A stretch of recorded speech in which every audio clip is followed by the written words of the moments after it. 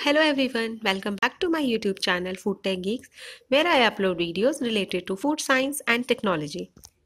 So this video is a career guidance video in which I will be discussing about some of the career options after BSc Food Science and Technology. So uh, this video is going to be very helpful for all the students who have just completed their graduation in food science and technology and are looking for various career options after food science and technology graduation. So let's start the video.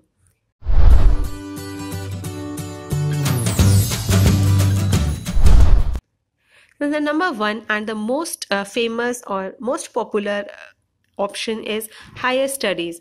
Most of the students usually go for their masters or mtech after their graduation.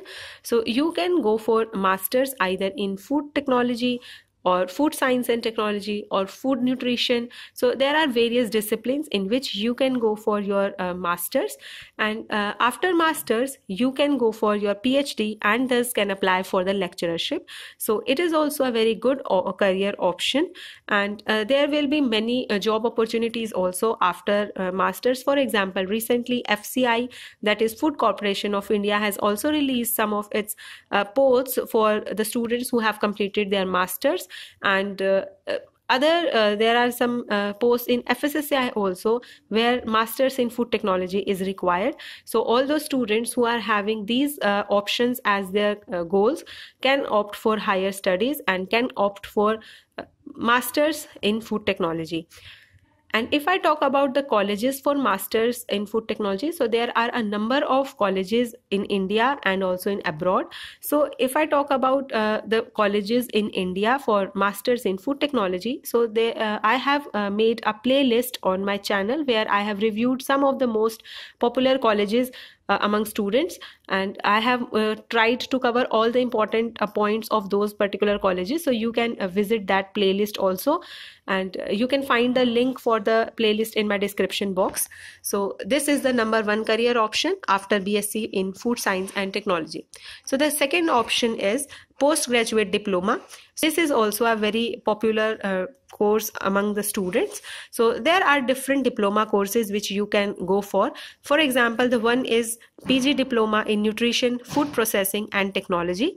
And it is of uh, one year uh, the university which provides this is SNDT Women University Mumbai. So this is just one uh, abstract. You can also find out some other universities.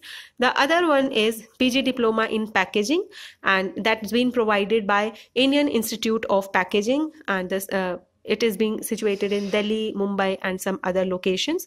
So, the main advantage of these diploma course is that they will land up you in a very good uh, MNCs and companies. So the students who are uh, aiming for a job in private sector can uh, surely go for postgraduate diploma. So this is also a good option. The next option is agribusiness management.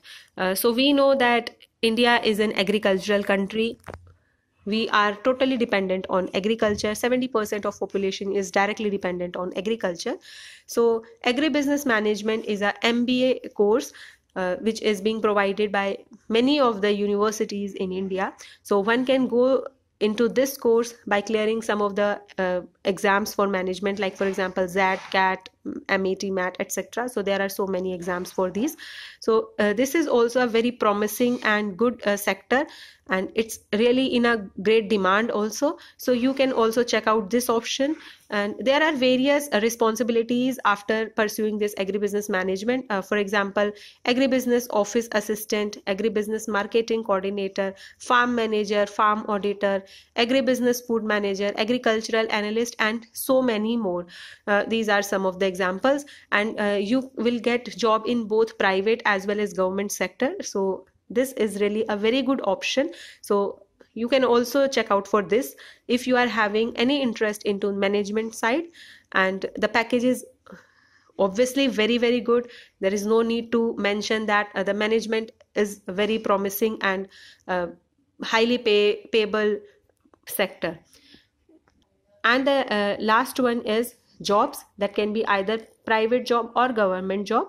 So what you can do you can have a break from uh, colleges and the curriculum and can give a year or two year preparation for various government jobs. For example food safety officer uh, and uh, fssai also has certain jobs for the graduates in food technology. So you can prepare for those. And there are so many private jobs also in food industries for which you can apply. But yes uh, after bsc the package in food industries is really very low but yes that will add to your resume that will add to your experience and will in end lend you up in a very good position also you can also try for the government and private jobs but uh, yes government job needs a, a long perseverance and strong determination as getting government job in nowadays is really very tough.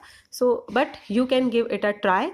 So these are some of the most common and popular career options among students who complete their graduation in food science and technology. So you can choose any of them according to your interest and according to your future goals.